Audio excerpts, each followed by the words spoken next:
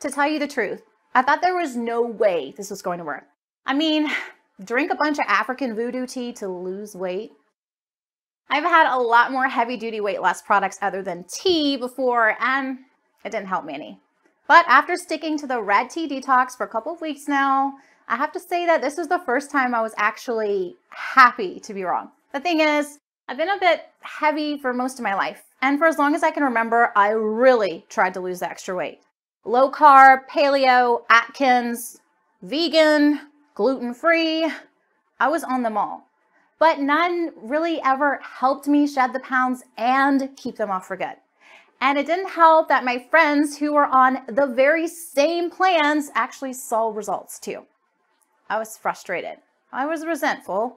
And eventually, I was just done trying. After all, what was the point? Nothing ever worked for me. But years after I threw in the towel, I stumbled across Liz's Red Tea Detox, and something about it gave me just enough hope to try one last time. And let me tell you, I'm so relieved I did.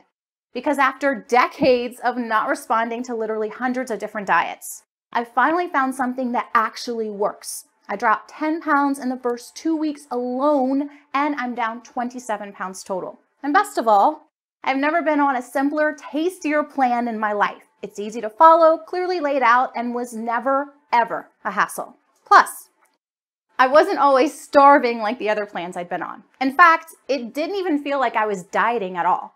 I was comfortable, energized, and focused the whole way through. This is the thinnest and happiest I've felt in years. And it's all thanks to the Red Tea Detox. But more than anything else, I'm just so excited that I finally found a program that actually works.